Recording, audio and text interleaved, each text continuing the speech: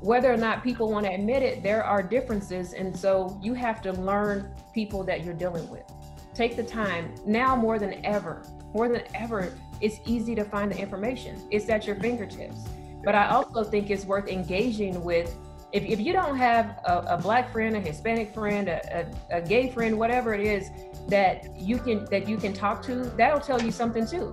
You're not your your world's pretty pretty pretty closed and now, is it closed because of you not opening it up, or are you in a place where everybody looks like you? Everybody thinks like you. You have to get outside of that and get to know people, build authentic relationship.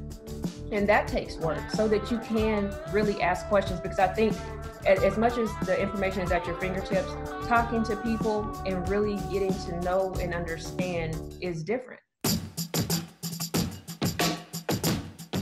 All right, ladies and gentlemen, welcome once again to the new normal. I'm Kay Wright, your Chief Master Sergeant of the Air Force, and today uh, I have a guest with me who I've known for about uh, a year now, and she's done some work for uh, our Air Force. Uh, I would say she's an amazing leader, an amazing woman, and uh, I want to tell you just a little bit about uh, her. She is motivated by her passion to recognize her own BS and correct societal isms like racism, sexism, classism, and plain old stupidism. It is Risha Grant's personal mission to expose the value of diversity and inclusion while shining a light on the economic impact it creates. Risha is the CEO and founder of Risha Grant LLC, an award winning full service diversity communications, recruitment, training, and consulting firm. Its mission is to utilize diversity communication strategies, tactics, and training as a catalyst to create inclusive cultures. With almost 20 years of experience working in one of the reddest states in the nation, she will provide us with steps to identify, own, confront our bias by calling BS on the issues that stop us from building inclusive cultures and attracting diverse markets. She is also the author of the book that's BS How Bias Synapse Disrupts Inclusive Cultures and the Power to Attract Diverse Markets. Risha, welcome to the show. Thank you for having me. It's, it's really great to see you again. Yeah, you too. And thank you again for the work that not only you did for us, uh, the Chiefs, some time ago, but I understand you've been doing some work around the Air Force. And uh, yeah. we, we appreciate it. So, hey, man, let's just jump right into it. Uh, tell me about this current situation. What do you think? What's what's what's happening? I, I think it both. Uh, I think it both sucks and uh, and that it is. It, it sucks on one hand, but on the other hand, I think that we're about to see real change, real systemic change. You know, mm-hmm. throughout our our communities, throughout our our companies, throughout our world, um, and I'm really excited about that. I haven't been in the business as long as I have, um, people check a box a lot. You know, there may be something that causes them to check the box, and maybe there's a lawsuit or something like that. But the people that I'm talking to today are saying, what can we do? How can we really, really um, make this a different environment? And so I'm really encouraged by that. Yeah. So what I mean, Risha, you know, we I mean, we've been dealing with this as a nation for I mean, years.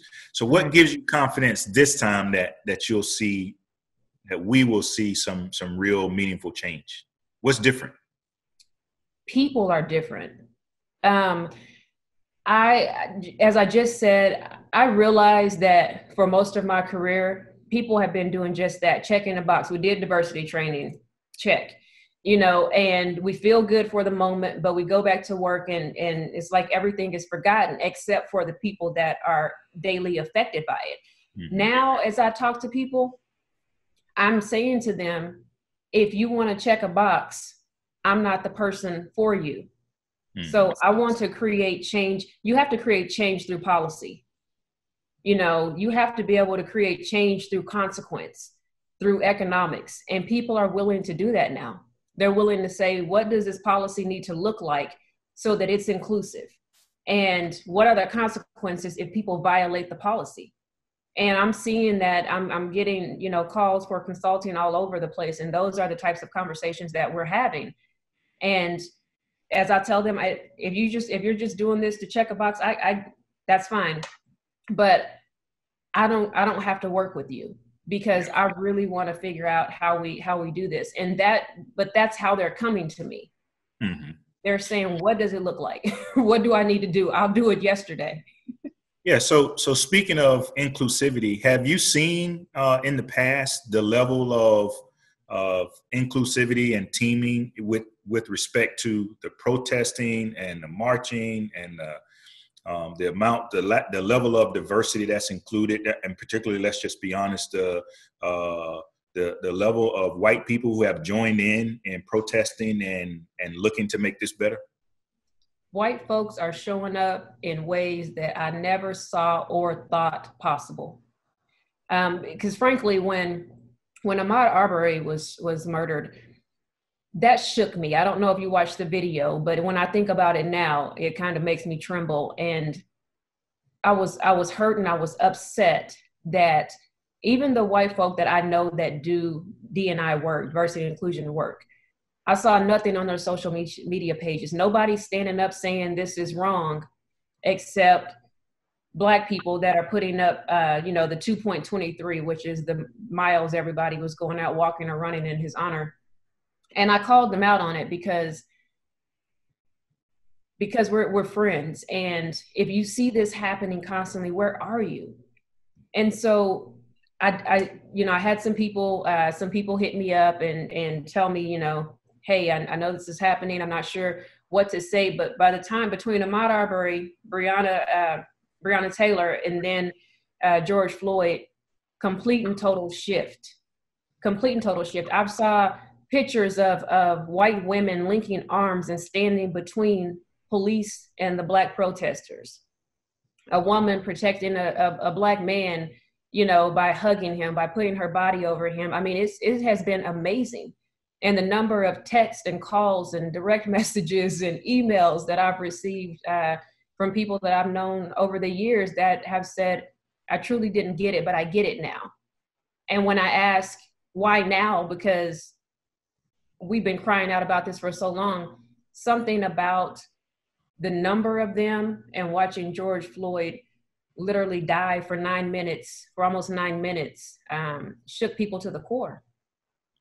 Yeah, it's you know I heard somebody mentioned uh, previously that uh, that George Floyd was the tipping point for mm-hmm. a lot of us, right? So that was kind of the thing that made most people say, "All right, enough is enough."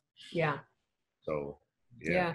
he was a catalyst. Um, because I think you could you could really really see the humanity and you got to the in, I'm sorry the inhumanity and you you saw it from beginning to end and a lot of these other cases the first thing that people do is try to go and criminalize the person that was murdered well you know he's gone to jail before he's done this before he's done that before and I think um you couldn't do that with Ahmaud Arbery you know, but people were still that happened two months before we ever saw it happen.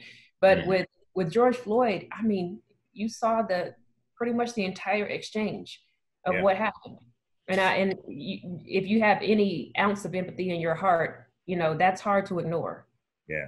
Hey, you've been in this business uh, a long time, and and you've engaged in so many different different areas why is it so hard for us as and, and i'll just speak for us as americans you know black white and and specifically black and white why is it so hard for us to talk about race and racism?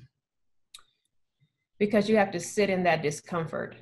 You have to know black people are angry about it um angry but tired weary like soul tired. Racism is it is something that we are groomed to understand from the time that we're born for the most part. Our parents our grandparents like they know it and they want to teach us how to be safe. So it is a part of our everyday life. Mm-hmm. when you talk about it with white people especially white people who are not racist and have you know have a good heart i don't they don't truly understand they don't truly grasp the brevity of it and they don't and i think from from my experience i don't think that they grasp that we actually really navigate the world differently than they do.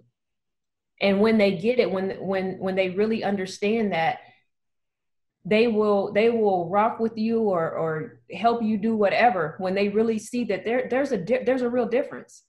And i think that it's uncomfortable to hear that. And and if you have to say to them and this thing that you say or this thing that you do that thing is racist that thing has racial undertone people that have a good heart it's hard to accept that there are some things about you that are really hurtful to somebody else yeah, that makes sense. So, so what what strategies do you typically recommend in making it a more palatable conversation? Is it just, hey man, there's lots of hard conversations in life, and you just got to deal with them, uh, just like any anything else? Or, I mean, do you have strategies that you typically uh, teach to help people uh, have open and honest conversations about race and racism? I do. Um, part of it is what you said. You know, it's hey, this is gonna it's gonna hurt a little bit, but we all have work to do to become better people. All of us. Once you figure out what those weaknesses are, you work on those, and you become stronger in those in that area. And this just may be an area that you need to to be stronger in. Even with myself, what helps my strategy is that you look at you look inside first. You identify what your issues are mm-hmm.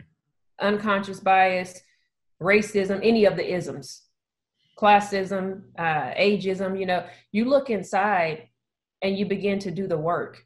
Then once you figure out what that is, for me, it was a mistrust of white people.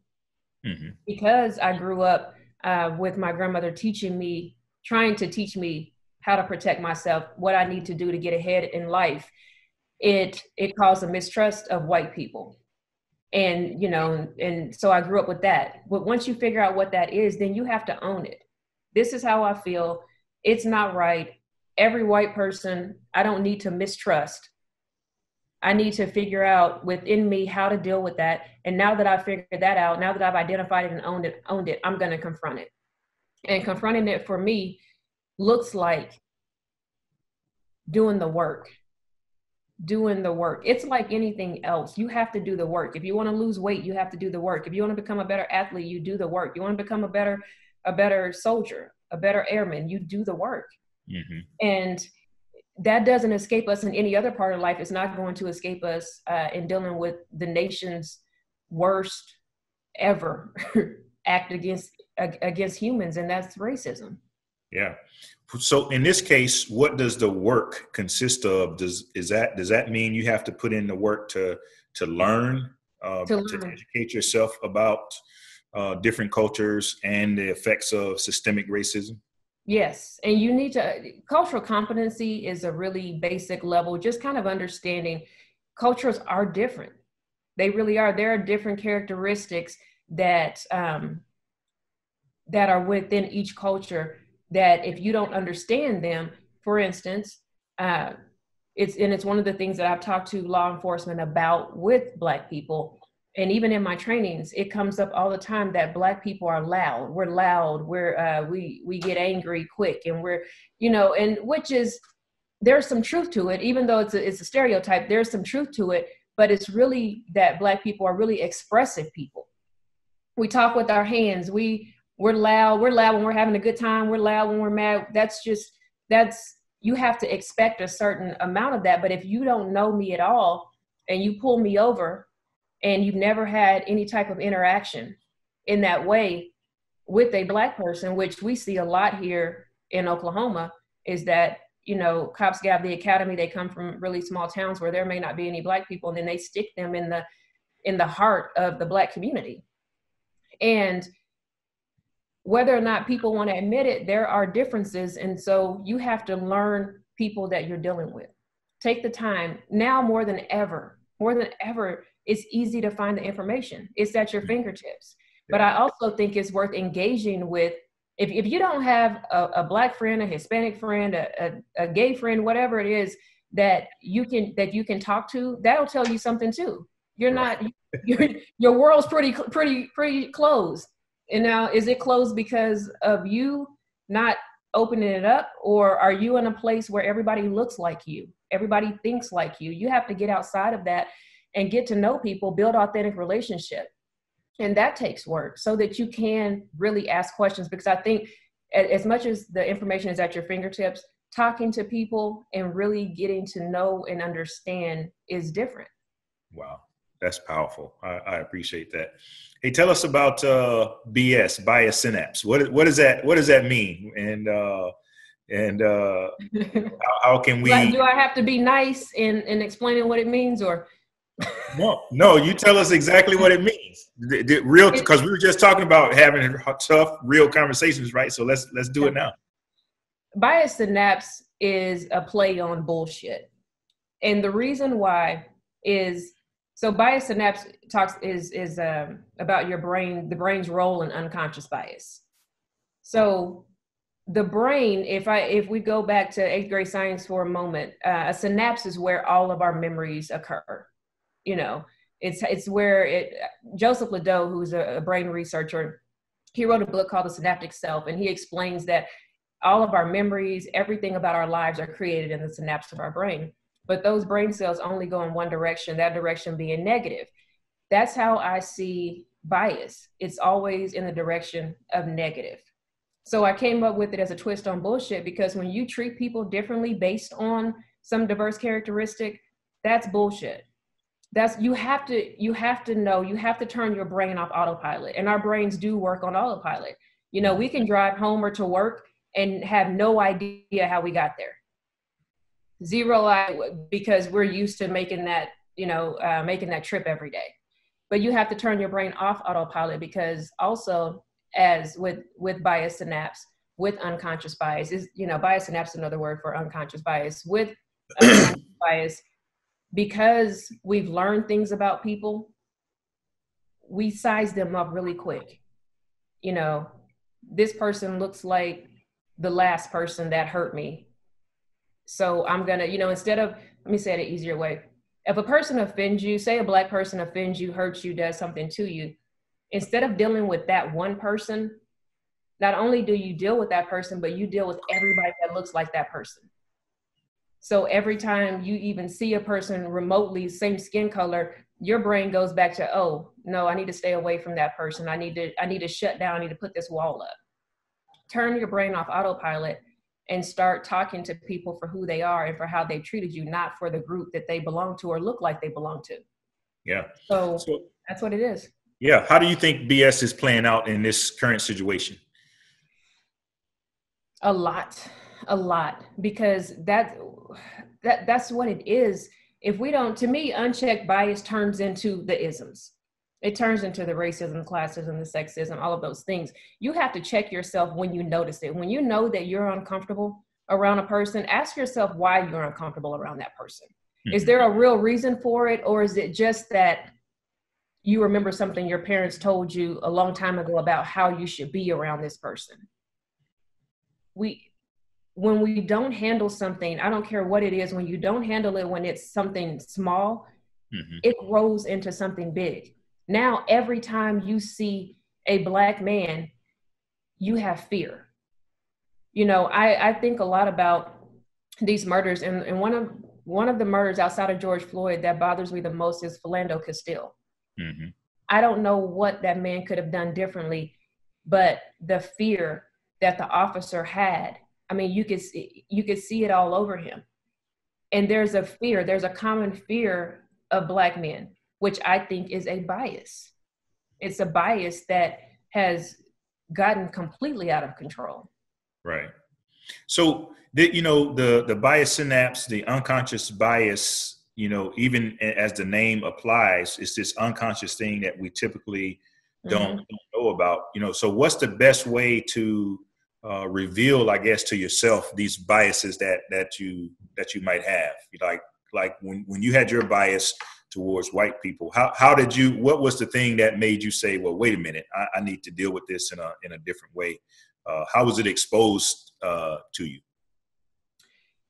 Because I noticed in my mind when things happen that I automatically can put it into a category or a person to I knew that was white people. You know, anytime something happens that is negative or you trusted someone and then you look up and you realize that they have um, violated that trust instead of me just saying i i shouldn't deal with this person i'm saying white people get on my nerves. White people white people. That's a lot of people.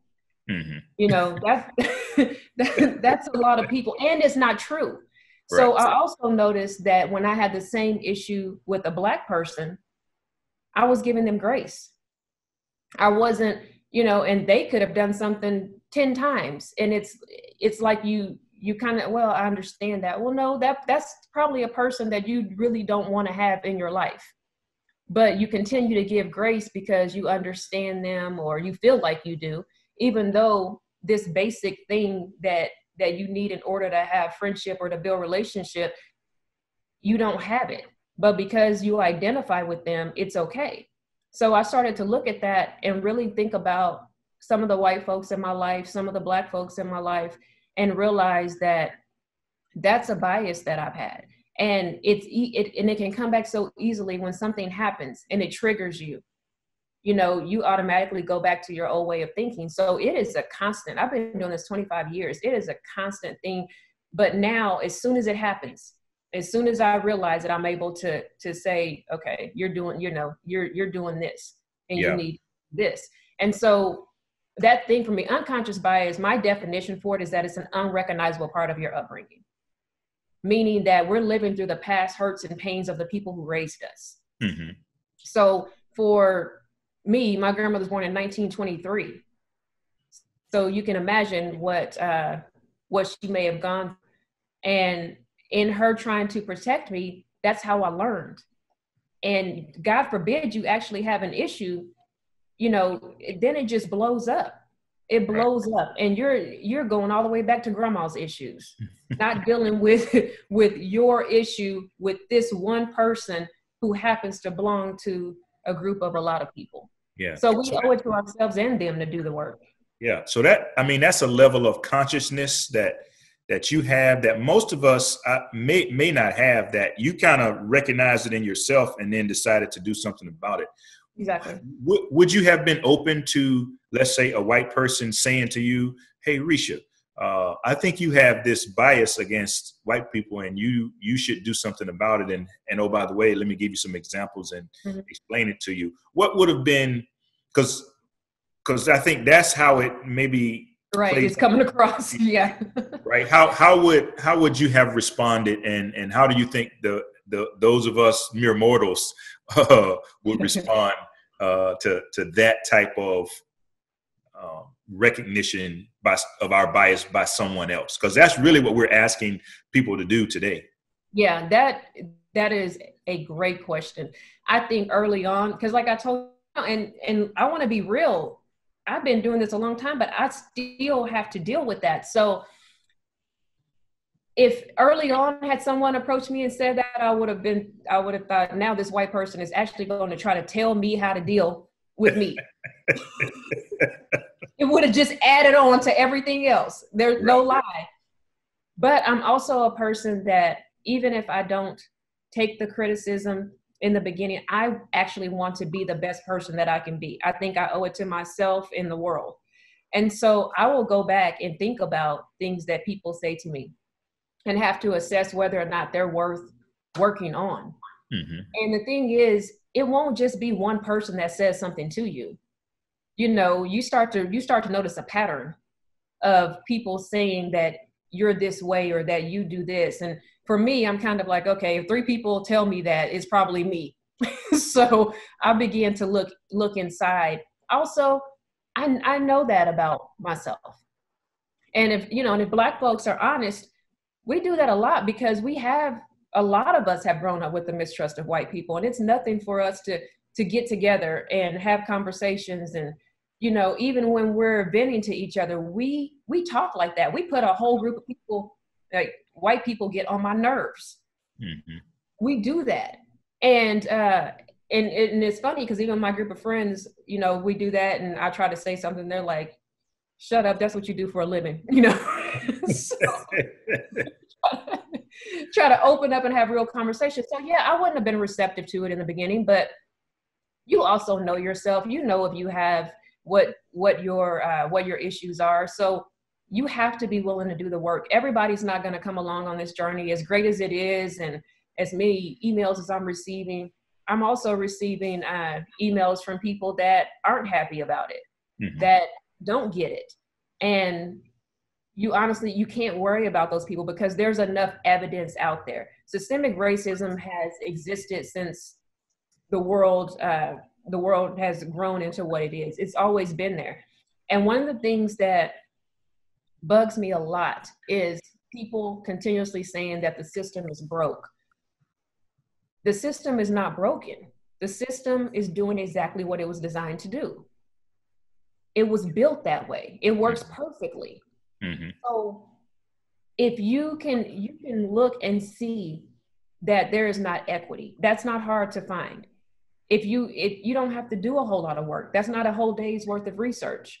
You know, it's easy to see. So if if someone is telling you that the way that things are set up does not create balance, does not create equality, does not create equity, and you're hearing that over and over and over again, it's on you. It's on you to at least look at yourself, to at least look at the system that in which we work even. What can we do to change that system? So get over yourself. We all need to get over ourselves and figure out what those things are in our lives that we have to work on. You know, we don't like it when our when people that we're in relationship with tell us something that you're doing that that hurts them. We get mad about that. So that's normal Right. But if you want to keep that person in your life, you're going to make those changes. Right. So one of, one of the challenges that that we have, you know, obviously with this this happening in our nation and affecting our our Air Force, just like every other organization, is uh, we we sometimes have uh, commanders, leaders at various levels who say, "Hey, hey I don't really know what to say." Um, what do you recommend to leaders in an organization like the Air Force, or really in any organization, on during this time as uh, black airmen, as black men and women, you know, uh, struggle with police brutality, systemic racism, the things that we've all grown up with. And if I'm a leader who happens to be a white person or or uh, a non-black person, what what do I say? What what can I say to the people who work for me? First, I don't think you need to say anything. I need to, I think you need to listen. It's really important for leaders to listen right now, to understand what their um, what their employees, what, what the people under them are dealing with, and what they're going through. Mm-hmm. Once you listen, you're going to validate those experiences because if you invalidate those experiences, they will not uh, come back and talk to you. You're not going to get what you need Then, then we're going to act. So your job is to listen, validate, and act. And when I say act, I mean create change, real systemic change. Yeah, man, that's that's really really good advice. So uh, thank you. I appreciate it. I know it's going to be helpful for a lot of leaders. You know, I've I've often said that this is a tough conversation to have. This is a tough subject, uh, but it is extremely necessary. And so, right. I definitely appreciate all the great work that you've been doing in this thank in this arena. Um, you thinking about expanding? You got so much business now. You got so many people calling on you. Uh, what, what are you doing? What's next for you? You want a job? no, I got I got a job. I got a couple of jobs. I just want to keep growing. I just want to uh, hopefully keep shifting hearts and minds and and helping people to, to think differently and, and think about how we can all make the world better. Yeah. Well, uh, again, I, I want to say thank you, man. I, I just appreciate you so much, and uh, I'll give you the last word if uh, anything you want to tell our audience and uh, but but I definitely appreciate all the great things that you've been doing. I think we just all need to get over the BS and and, and figure out a way to show people that we care and that we've got to stand together because if we don't stand up for others, there's not going to be anybody left to stand for us in our time of need. Yeah, no, that's powerful, and, and thank you. So, uh, ladies and gentlemen, uh, once again, uh, I want to say thank you to our guests, uh, Risha Grant, uh, the author of That's BS How Biosynapse Disrupts Inclusive Cultures and the Power to Attract Diverse Markets. So we appreciate you, and uh, I'll see you next time. You too. Take care. All right. Thanks.